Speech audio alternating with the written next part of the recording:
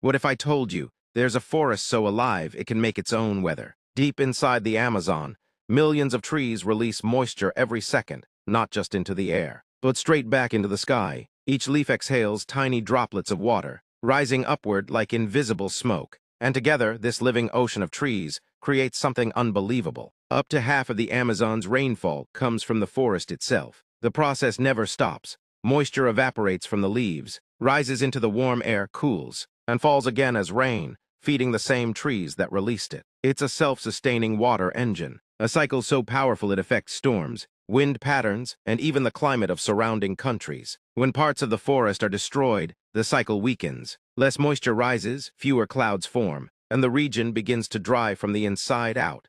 A reminder that the Amazon isn't just a forest. It's a breathing system holding its own sky together. Subscribe to Factonizer for more mysteries hidden in the world around us.